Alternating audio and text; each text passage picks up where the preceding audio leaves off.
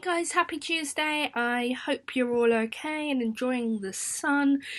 Yesterday's weather was awesome, wasn't it? It was like 24 degrees. Um, it is lovely out there. Um, so I hope you've enjoyed some of the sun. Make sure to keep safe, washing your hands, putting on um, sun cream on. I always call it suntan lotion. Not sure why. Sun cream on um, and keep hydrated. Don't forget to do your learning. I've seen some awesome learning so far and I hope that continues. So, today is lesson seven. Let us get started. Right, bubble myself. There we go. So, today is Tuesday, the 23rd of June 2020, and today's lesson is lesson seven from Myths and Legends. You know the drill now, you know the system maybe I'll have to stop putting this in because you guys know this thing. You're going to need pencil or pen, you're going to need paper, you're going to need lesson 7 from the Grange website on myths and legends. Pause the video, make sure you got everything ready for me. Hopefully, you've now worked out what you need, so you will have it already before I've even started the video. So today's LI is that you'll be able to understand that the ancient Greeks had believed in a different creation story to maybe what we believe in now. You'll know what a creation story is, you'll be able to think about other people's feelings, and you'll be able to explain what the myth explains that we're going to read today. You know the drill, pause the video while you write down the LI for me. Don't forget the date as well, Tuesday the 23rd of June. I thought it was April then. I have gone back in time by two months. Okay, so we're going to do our recap first because it's really important to refresh our knowledge. There's four words here reproached, banished, quash, and rebellion. These are all from Thursday's lesson. I would like you to write the definition for those four words. Try not to use your glossary, but write the definition for those four words. If you're struggling to write the definition, can you remember what word type they were? Were they nouns? Were they verbs? Were they adjectives? Were they adverbs? Um, try your best. I know it's hard. I know we've been learning lots of new vocabulary, but pause the video while you write down your um, definitions for these four words. Okay, I'm going to go on to the next slide. So if you're not ready, make sure you've paused the video. Okay, so reproached is to express to someone your disapproval or disappointment in their actions. And that's a verb. Well done if you got that. That's quite a tricky word. Banished. I hope most of you got banished. And that means sending someone away from a country or a place as an official punishment. So you are banished to Mrs. Watson's office if you you misbehave. Hopefully none of you have done that there. That is a verb. It's a doing word or an action. Quash. Quash is like a really old fashioned word and we don't hear it very often these days, but it means to put an end to rumours. So if there's rumour going around school, um, the teachers taught you to quash all the rumours and say, this is not happening. For example, if there's a rumour going around school that I'm leaving, I would quash all those rumours because I am not leaving. Not leaving the school. No, no, no. And that's a verb rebellion, and that's an act of armed resistance to established government or leader, so fighting back against. That's a noun. I hope you did really well. I would have expected you guys to get at least two out of four there. If you didn't, make sure you are practicing um, learning those definitions with your glossary. If you didn't add these to your glossary, add them now. It's really important we learn these words because they'll be used all throughout our English topic this time okay? And they'll really help you when you move to year six. Pause the video if you need to. So, there's four sentences here, and you're going to put a tick or a cross to show whether you think each sentence is used uses eternity correctly or incorrectly. So, Zeus condemned Atlas to bear the weight of the sky on his shoulders for all eternity. That's number one. Is it a correct or incorrect use of eternity?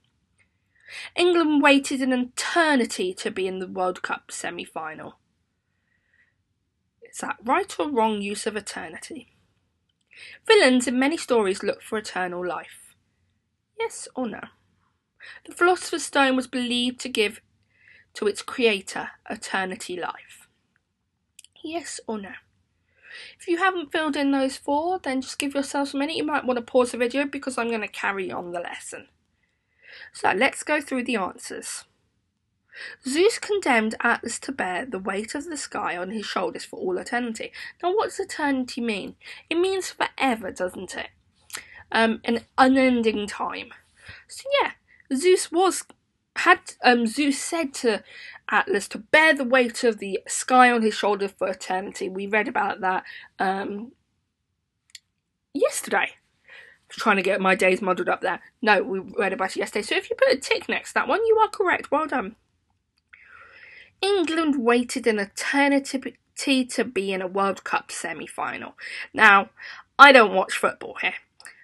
It might seem like you waited ages and forever for the World uh, for England to be in the World Cup semi final, but it really wasn't. It wasn't an unending period of time. It wasn't millions and trillions of years. So I'd say it probably wasn't the best use of eternity. And villains in many stories look for eternal life. Yeah, I would agree. That would be a great use of eternal. And the Philosopher's Stone was believed to give its creator eternal eternity life. Now, that just doesn't make grammatical sense, does it? So, Blue Zone especially, I want to have a look at number four and I want you to rewrite the sentence so that it is correct for me. So pause the video while you're doing that for me. Okay, so you should have, if you haven't finished that, just pause the video a little bit longer. If you're not in Blue Zone but you still want to have a go, please do by all means. It doesn't mean that you can't have a go if you're not in Blue Zone, but it might be a little bit tricky. Okay, let's carry on our lesson. So we're going to recap the War of the Titans. I might need to move my bubble a little bit. Now, there's a lot of writing here, first of all. So, what I would say, unless you really, really, really, really, really want to, do not copy it out. Okay? It'll take you forever. Um, you might want to copy some of the sentences out. You may wish to make notes, but you will need to fill in the gaps. You will need to write down what order the words go in. Down at the bottom here, you will see that there's different words. It is hmm, two pages long, okay? Some of the words will be repeated. So I'm going to read it through. I will give you time-ish if I remember. If not, pause the video after this slide before we go on to the next slide. Um, sometimes I forget these things. So, in the beginning, there was Uranus and Gaia. They had three sets of children. First were the giant human like gods, led by Cronus. The second were enormous one eyed creatures called. Uranus feared that they would overthrow him as the king, so he imprisoned them in the centre of the earth. Gaia and Cronus felt Uranus was too unjust and joined forces to overthrow him. But Cronus's own reign did not get off to the best start. After being overthrown by his son Uranus, that Cronus would be overthrown by his own son too. Remember to look down here to help you. So Cronus decided to his children before they could overthrow him. He did not want to meet the same fate as his father before him. After a while, Cronus's wife Rhea, whose children had all been eaten by her husband, decided enough was enough. When her last child, Zeus, was born, she hid him and tricked Cronus into eating a. Zeus grew up safe and sound, far away from Cronus, and when he fully he was fully grown, returned home to overthrow his father and fulfill Uranus's prophecy. He began by freeing his siblings from stomach. Grateful for being saved, his giant siblings joined him in the war against Cronus. The Cyclops made weapons for Zeus and his brothers, and Four, they made a trident. Four, they made a helmet of invisibility. To Zeus they gave the fearsome, and so the war began. Pause the video while you finish off um, filling in the gaps. I know I probably could talk quite fast. Um, I'm going to move on to the second page, so do make sure it's paused. But Zeus and Cronus' armies were too evenly matched. The struggle was so fierce and the fighting was so furious that it raged on and on and on. Zeus's Zeus's Zeus's mighty thunderbolts from the sky struck Titan after Titan, but still the Titans fought on. Atlas's massive arms crushed god after god after god, but still the gods fought on. The almighty battles between the gods and the Titans raged on and on until the war had lasted for. Then finally Zeus had seen enough. He unleashed his full power. Blinding light and deafening thunder filled the sky. The heat from the thunderbolts threatened to set the whole world ablaze. Zeus's siblings hurled boulders a hundred at a time at the Titans. This assault was too much for the Titans to bear. Although the Titans were both massive and massively strong, the gods were immortal, all powerful, and in the end proved undefeatable. Victorious, Zeus cast the Titans out of heaven and banished them to the the lowest region of the Zeus and his siblings took their place on Mount Olympus. Zeus and his brothers then cast lots to see which should rule the air, which the sea, and which the under the earth, and so became the king of heaven and ruled the waves and ruled the realm of the dead. Pause the video while you finish that off. The next screen is going to have the answers on for the first page. I'm not going to read them out. You should see where they are. They are in red. So pause the video if you need a little bit more time. Okay, so this is the first part. You can see the first answer was heaven, then we had earth, titans, cyclops, prophesized, eat, stone dressed in baby clothing instead. Zeus grew up safe and sound. I think I might have Mm, I think I might have highlighted a bit too much there. Sorry. Um, Kronos Poseidon, Hades, Poseidon, Hades, Thunderbolt. Pause the video on this slide while you tick your answers, okay? Really important. I'm going to go on to the second slide now, so do make sure you pause it just in case you need a little bit more time. And those are the answers for the second slide. 10 years, Tartarus, Underworld, Zeus, Poseidon, and Hades. Pause the videos while you mark the rest of your answers. Okay. I want you to match the gods, Athena, Zeus, and Aphrodite, to one of the three descriptions, and then fill in the gaps. Now, just so you know, I've only just noticed, I can only apologise. There is one gap at the bottom of this, the first box, and it's really hard to see that there's a gap there. So, goddess of love, she advised mortals on their problems in this area and helping those she favoured find love. However, she was argumentative and experienced a mm with Hera and Athena. This feud led to the famous mm, mm. The king of the gods, he explained the existence of mm, mm, and. His two brothers were mm and mm. The goddess of wisdom turned Um into a Gorgon. Her feud with Aphrodite and Um resulted in the Um War. Pause the video while you match them up and then you fill in the gaps. I have a feeling on the next slide where I have the answers, I didn't fill in this gap. We'll work it out. Pause the video, I'm going on to the answers now. Yep, see, I thought I had. So, Aphrodite should be matched with the first one, Goddess of Love. So, here should be feud, and this feud led to the famous Trojan War. I do apologise for missing that. Trojan War should be the second gap. Zeus was the king of the gods. And you should have filled in thunder, lightning, and storms, and his brothers were Poseidon and Hades. We know this now. This should be right in the front of our memory, should be able to answer this very, very quickly. And finally, Athena. Um, she turned Medusa into a Gorgon. Her feud with the um, with Aphrodite and Hera resulted in the Trojan War. Pause the video while you finish off marking your answers, okay? Well done if you got all of those right. It's really impressive knowledge.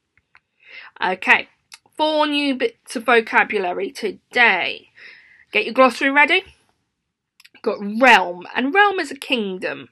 Um, some of you might have a realm in Minecraft. That's a noun. Immensely that's a way of describing something. It's an adverb, and it's to great extent or extremely. So immensely proud. I am extremely proud of everyone who's um, submitting English work. Celestial throne.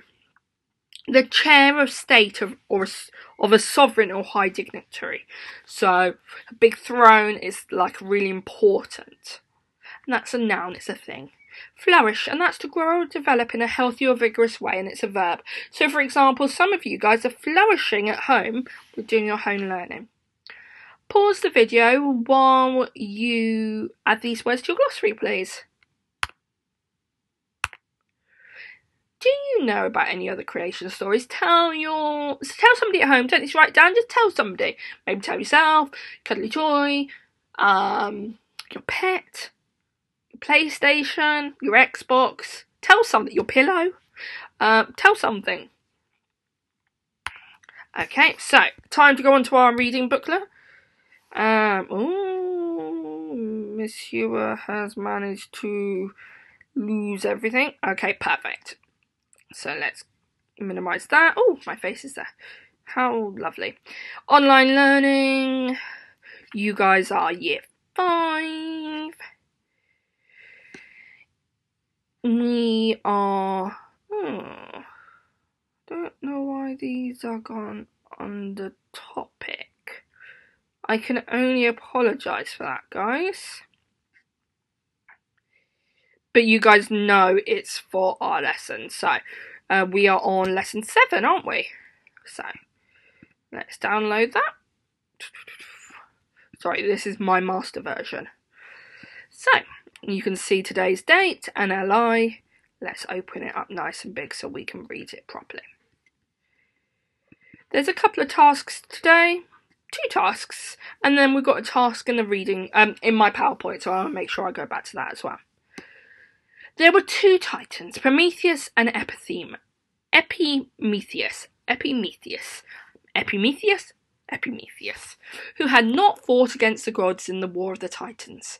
Zeus, king of the gods, gave them the task of making living creatures, and he sent them down to live on earth. Epimetheus made turtles and gave them shells. He made horses and gave them tails and manes. He made anteaters and gave them long noses and longer tongues. He made birds and gave them the gift of flight. Then Zeus called to the good Prometheus, because although Epimetheus was a wonderful craftsman, he was not nearly as clever as his brother. Go, he said, and make man out of clay. Make him in shape and form like the immortal gods. Remember, immortal means that you live forever, right? Um, and I will breathe life into him. Then you shall teach him what he needs to know, so that he may honour the immortals and build temples for us. So he, the people that um, Prometheus would build, men, man, and they would build the temples for the gods, and they would always honour the gods, the immortals, the ones that live forever. And after a little time he shall die and go down to the realm of my brother Hades, and be subject to him. Where was the realm of brother Hades? Was the underworld. Well done if you got that right. Prometheus did as he was told. He took soil and mixed it into mud, and out of that he moulded the first man. So we've got Prometheus and Epimetheus. They were brothers. Do you remember? They are brothers. And Epimetheus is the one that first began making living creatures. And that was under instruction from Zeus. Now, Epithemius um, made lots of animals, so anteaters, turtles, um, birds. But um, Prometheus was the one that was clever. Um, so he wasn't as good as a craftsman, uh, uh, that is Epimetheus, but he was clever. So that's why Zeus went to him. Right, all you have to do is true or false. Zeus believed that Prometheus was intelli- more intelligent than his brother Epimetheus. True or false? I'm going to give you five seconds. Five, four, three, two, one, zero. That is true. Well done if you got that right. Prometheus made the first man out of mud. Five, four, three, two, one, zero. I would somewhat disagree. He did make it out of mud, however, it was mud mixed with soil. Okay, Zeus didn't want the first man to look like the gods. Five, four, three, two, one, zero. That's false. Zeus did want them to look like the gods. It tells us make him in the shape and form like the immortal gods. So shape and form the way we look. Well done if you got three out of three there. Prometheus loved mankind in the same way people love their pets. He was immensely proud of everything they did and boasted about them to almost anyone who would listen, and generally fussed over them in every way possible. Instead of feeding them with food, however, he fed them with knowledge. Scraps of information that he had picked up from Athena, the god of. Do you remember? We just covered it. Who was Athena the god of? The goddess of wisdom. So well done if you got that right. The goddess of wisdom and his only real friend in Mount. Any ideas? Olympus. She would tell him about mathematics and immediately he would rush down to earth to pass it on. The next day it might be art or architecture, the day after that science or engineering. Do you see all these subjects are still subjects we study today? As the years passed and mankind became more intelligent, Zeus, who had been watching all this from his celestial throne, grew uneasy. I'm a little worried about these human beings, he remarked to his wife, Hera. I just wonder if they're not getting a bit above themselves. Where will it lead to? Well, what are you going to do about it? asked Hera. I don't know, but I'm keeping my eye on them. Zeus might have been a jealous god, but he was not cruel enough to destroy the newly formed human race, and so mankind continued to flourish. That's a really cool um, creation story. So you've got two tasks here. So task one is how do you think Zeus feels about humans living on Earth, and make a prediction about what happens next. And then we've got Another task. Myths are often explained as a natural phenomenon. Phenomena. What does this myth explain? So, what does what we've just read explain? Can you give examples from other cultures which explain the creation story as well? What are the differences? What are the similarities? So, I'd expect a couple of sentences for B and at least a paragraph for the extension. Now, you got those two to do. Then I would like you to, let me find the right slide. There we go. Let's just go through the tasks for today. So, answer recap and retrieval questions. Should have done that. Update your glossary. Answer questions activities in the reading booklet. And then I'd like you to create a character profile for Zeus. So, this is an example. So, you describe his appearance. What is he like? What's his personality like? Does he think he's the best? Does he think he's the best god? And then you can draw a sketch of your character, which is Zeus. I hope you have a great day. Don't forget to send me your amazing work, yr5 at grange.harrow.sch.uk. Um, your lovely, wonderful teachers are being amazing and are still replying to your work. If you do want me specifically to answer any emails, do make sure you write um, to Miss Hewer um, at the beginning of your email or put it in the subject. And remember to put your names in the emails. Um, sometimes I've been getting emails and I don't know who they're from. So it becomes really hard for me. But I cannot wait to see all your amazing work and I will see you tomorrow, guys. Bye.